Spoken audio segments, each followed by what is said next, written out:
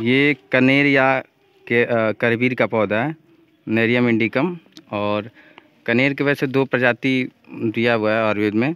एक रक्त करवीर है, एक पीत श्वेत करवीर है। लेकिन राज निघंटू में एक पीत करवीर का भी उल्लेख किया गया है। तो ये रक्त करवीर है। और इसके पत्ते आप देखेंगे, थोड़ा चौड़ा टाइप का होता है। जो आप गाँव में हमारे घर के आसपास जो पीत करवीर मिलता है, जो पीले फूल वाला उसके पत्ते थोड़ा पतले होते हैं, उसको भी अभी दिखाएँगे। पर यह पहले रक्त करवीर का पौधा देख लीजिए। ये होता है। इसके पत्तों को ध्यान से देख लीजिए। ये होता है।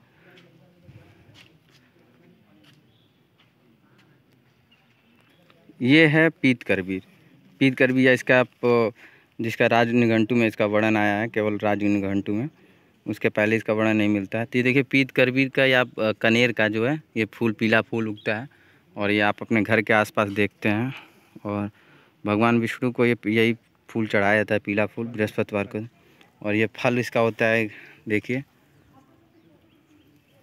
तो ये है पीत करवीर और इसी को लोग असली करवीर मानते हैं, कनेर, लेकिन ये असली नहीं है, असली ये है, जो अभी दिखाया हूँ। ये है असली वाला। ये इसके पत्ते देखिए और इसके पत्ते देखिए देखिए इसके पतले पीत करवी वाले के थोड़े पतले हैं, लेकिन ये लोग इसको असली मान लेते हैं, लेकिन ये असली नहीं है, असली ये वाला है। ये बस कनेर के नाम से प्रसिद्ध है।